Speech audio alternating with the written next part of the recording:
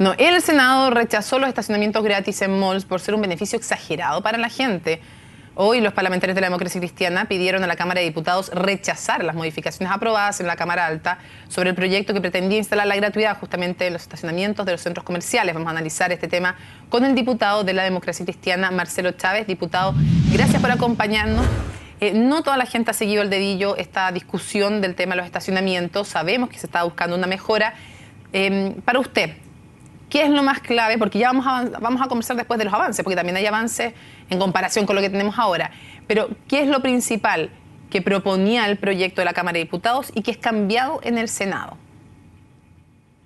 Bueno, muchas gracias por la invitación. Mira, lo principal es que el Senado lo que ha hecho es hacer trizas el concepto de gratuidad que nosotros habíamos establecido en la Cámara de Diputados, precisamente entendiendo que el hecho de que una persona accediera a un centro comercial u otro análogo era en el entendido que era un servicio accesorio, no es el servicio principal. Y por tanto entendíamos que cuando una persona concurre a este tipo de establecimiento, lo hace no para ir a estacionar el vehículo, sino que lo hace para ejecutar algún acto de consumo. Y por lo tanto, entendíamos que ese, el hecho de estacionar el vehículo debía tener la facilidad de que pudiera tener alguna gratuidad. Y en ese sentido, nosotros habíamos señalado media hora gratis a todo evento y que hasta las dos horas pudiera ser gratis siempre y cuando se presentara una boleta por haber adquirido algún bien o servicio. Y de las dos horas hacia adelante, bueno, se podía ya empezar a cobrar por minuto. Lo que ha hecho el Senado, eh, a nuestro modo de ver, que algo absolutamente atentatorio contra lo que nosotros habíamos establecido en la Cámara, es borrar de un plumazo este concepto de gratuidad, ¿cierto? Entendido como un bien accesorio, y lo que ha hecho es legalizar el negociado que están queriendo establecer los centros comerciales al permitirles cobrar desde el minuto uno en adelante, ¿cierto? Sin fraccionamiento, sino que por minutos, pero permitirles cobrar desde el minuto número uno. Y eso indudablemente a nosotros nos parece una aberración, hemos señalado que nos parece una puñalada por la espalda a los consumidores y adicionalmente creemos que un regalo anticipado de Navidad para los centros comerciales por parte del Senado. Ahora, ¿a qué atribuye usted que el Senado haya hecho este cambio o este regalo anticipado de Navidad, como usted dice, para los centros comerciales?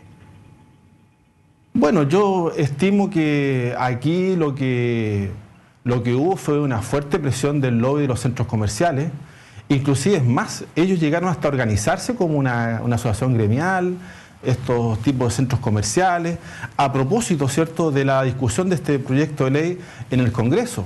Y yo creo que el lobby que ellos desplegaron, ¿cierto?, eh, en el Congreso, en la Cámara de Diputados no les resultó, porque indudablemente nosotros eh, en esta disyuntiva siempre vamos a estar al lado de los consumidores, las personas que estaban viendo cómo este abuso que se estaba perpetrando no siguiera más. Pero en el Senado al parecer les dio resultado y yo espero eh, y hago un llamado a los diputados y a las diputadas que rechacemos esta parte del proyecto de ley que viene del Senado de manera tal de permitir que haya una comisión mixta que pueda enmendar, como digo yo y como hemos señalado, ¿cierto?, este abuso flagrante que están legalizando en el Senado y que esperamos, como le he señalado, que podamos corregirlo en la Cámara de Diputados. Usted decía, en la Cámara de Diputados hemos estado del lado de los consumidores. ¿Del lado de quién ha estado el Senado de Chile? Bueno, a, juzgar por este acuerdo que ha hecho el Senado, ha estado al lado de los centros comerciales, eso no cabe ninguna duda, puesto que, como hemos, como hemos señalado, eh, este proyecto de ley eh, tenía su origen y su fundamento, su idea matriz, en torno a permitir, ¿cierto?, regular este abuso que se estaba produciendo. No hay que olvidar que los centros comerciales durante muchos años nunca cobraron por los servicios de estacionamiento, nunca. Y de un minuto a otro vieron una posibilidad de maximizar su negocio a costa de los consumidores, en circunstancias que ellos van a un establecimiento de esta naturaleza, no porque vayan a estacionar el vehículo, sino que porque van a ejercer un acto de consumo y que además le cobren por estacionar los vehículos y, que, y que adicionalmente esto sea producido durante este último tiempo, porque, insisto, vieron una oportunidad de maximizar el negocio, nos parece que era una cuestión extremadamente abusiva, y así lo hicimos ver con el proyecto de ley, así se aprobó en la Cámara de Diputados, y lamentablemente el Senado, ¿cierto?, eh, no ha dado vuelta a la espalda, y, pero yo estoy confiado de que al menos los diputados y diputadas podamos eh, revertir esta pésima decisión esta decisión que insisto, ya que estamos en época navideña, que viene a ser un regalo anticipado para, que podamos analizar más puntos. Eh, deben estar felices con esta decisión del Senado. Me imagino que están contentos los centros comerciales para poder ir avanzando en el tema. Eh, le, doy, le quiero citar la razón que fue en particular que da el Senado a través de un comunicado eh, para haber hecho los cambios. Dice que la norma original, es decir, la de ustedes, exageraba a la hora de proteger a los consumidores, puesto que atentaba contra la libertad de emprendimiento legítimo. ¿Están exagerando ustedes en la protección de los consumidores? No, al contrario, mire, yo creo que la explicación que ha dado el Senado, la verdad es cosa que es para la risa. Eh, y eso ha generado indignación en las redes sociales, producto de, esta explicación que, en realidad no vale ni la pena comentar, porque yo diría que es, tan cómica que, creo que, no resiste mayor análisis. Aquí lo único verdadero es que Inclusive, eh, eh, y quisiera recordar, nosotros establecimos en la Cámara de Diputados un proyecto inclusive súper equilibrado, porque nos decían que nosotros teníamos ánimo expropiatorio y tantas cosas más. Nosotros dijimos media hora gratis a todo evento, que imagínense más encima las fiestas navideñas, ¿cuánto le cuesta a una persona acceder el solo hecho de estacionar el vehículo, de poder encontrar un estacionamiento? Es decir, media hora gratis nos parece razonable y que inclusive hasta las dos horas pudiera ser gratis siempre y cuando la persona acreditara que había ejercido algún acto de consumo. es decir, mm. eh, y después de esas dos horas eh, pagar por minuto, es decir, una legislación súper equilibrada. Entonces, es muy raro esto del Senado, es muy extraño, pero me parece a mí que el lobby eh, dio sus frutos. El lobby dio sus frutos. ¿Quiénes hacen lobby en concreto son los dueños de los centros comerciales. No estamos hablando de los pequeños emprendedores Em, que son los que tienen algunos negocios más chiquititos. Estamos hablando de empresarios súper reconocidos en nuestro país, de grandes empresarios. ¿Qué pasa ahí? Eh, ¿Qué pasa ahí con el Senado y con ese lobby de grandes empresarios? ¿Por qué tiene efecto en el Senado? ¿Qué hay ahí? ¿Hay algo que tenga que ver también con el financiamiento de campañas o con qué? ¿Por qué se escucha tanto la voz de los grandes empresarios? Sí, sí, claro. Uno le, le surgen muchos cuestionamientos. ¿Por qué, ¿Por qué le da tantos frutos este, este lobby en el Senado y que permiten torcer una voluntad tan claramente establecida en la Cámara de Diputados, llama la atención.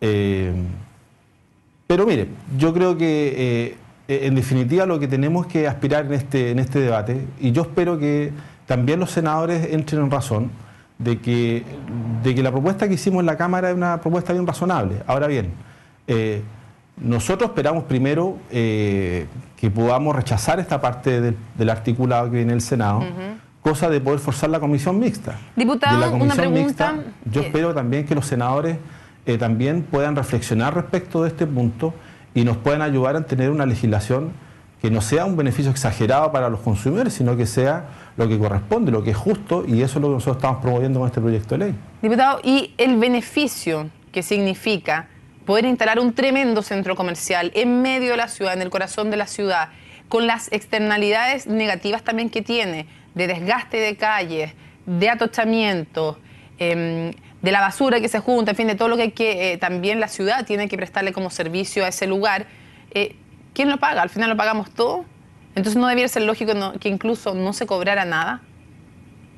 Usted usted da un argumento muy importante y el que nosotros hemos sostenido precisamente para sostener la gratuidad, que es que, eh, porque nos han acusado de que nosotros estamos atentando contra el derecho a propiedad, imagínese, y que tenemos afanes expropiatorios con esta ley. Al contrario, usted bien señala, estos eh, estacionamientos son es una obligación legal, constituye una obligación legal por vía de una exigencia de la Ley General de Urbanismo y Construcción.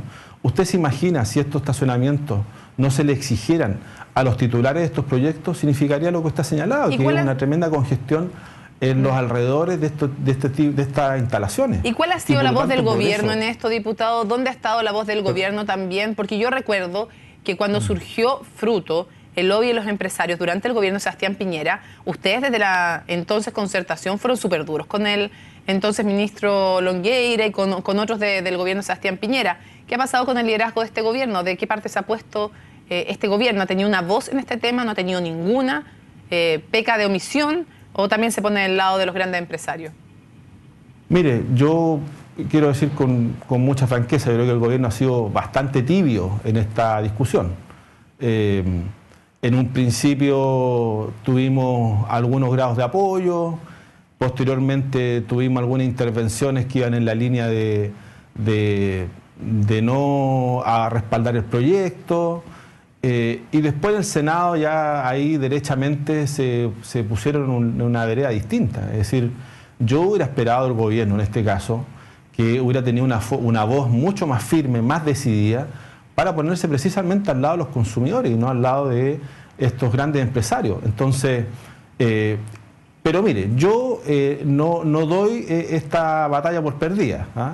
Creo que en el fondo el gobierno, el Senado, todos tienen una oportunidad aún y por eso estamos, estamos tratando de señalar este mal acuerdo del Senado, es que todavía existe una oportunidad de enmendar el rumbo. Pero a la pregunta suya, claramente el gobierno ha sido demasiado tibio eh, en, defender esta iniciativa y en particular el Ministerio de Economía ha tenido una tibieza que yo creo que no se condice con, con los beneficios evidentes que significan este proyecto de ley. Perfecto, entonces queda claro solamente de, en relación a lo de ahora, se mejora en que se va a cobrar desde el inicio fraccionado y el tema de las urgencias y sería por ahora menos que se llegue a una comisión mixta. Diputado, muchísimas gracias por acompañarnos en CNN Chile, que tenga buenas noches. Al contrario, muchas gracias a usted.